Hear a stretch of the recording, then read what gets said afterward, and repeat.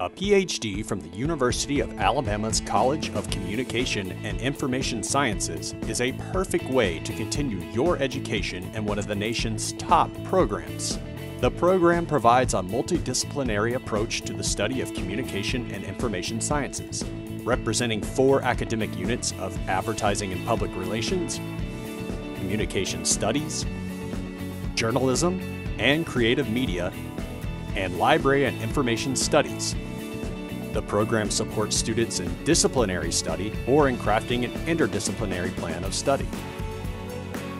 Formal concentrations are offered in applied communication, book and publishing studies, health communication, interpersonal communication, media processes and effects, rhetoric and political discourse, and social justice and inclusion advocacy.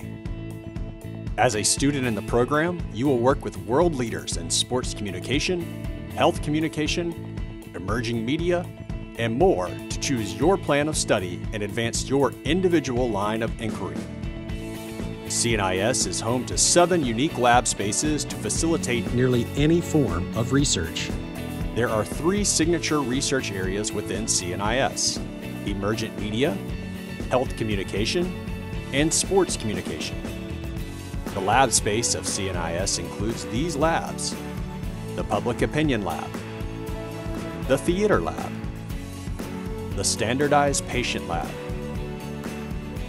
the Child and Family Media Lab, the Health Communication and Biometrics Lab,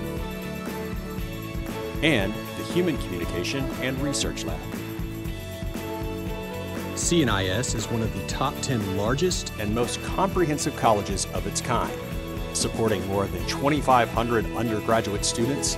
PhD students develop a teaching portfolio through teaching undergraduate classes aligned with specific research interests. The pedagogical, mentoring, and teaching experiences provided to PhD students prepare them to succeed in academia.